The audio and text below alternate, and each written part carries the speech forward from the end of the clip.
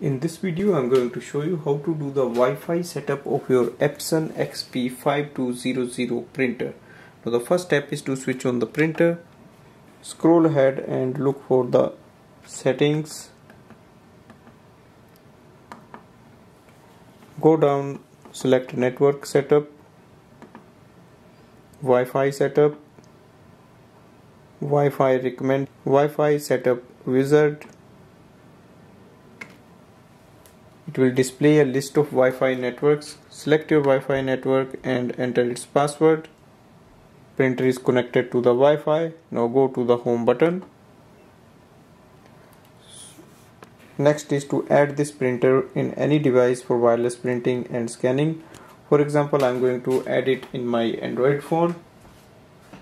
So go to your phone and download the Epson iPrint app. Open this app on the top select the house select select the home button again select your printer series keep using Epson iPrint and if you go back you should be able to see your printer details. We are ready to use it for wireless printing and scanning. So this way we can do the Wi-Fi setup of this printer. Thanks for watching.